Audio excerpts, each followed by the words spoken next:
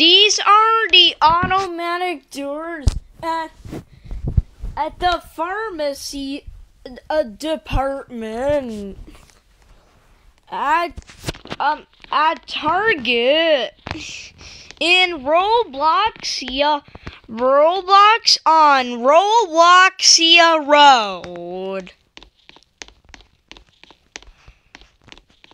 I think wow they look nice though. Here's the guest services. And this is the target. It's super. The long one. You try this again?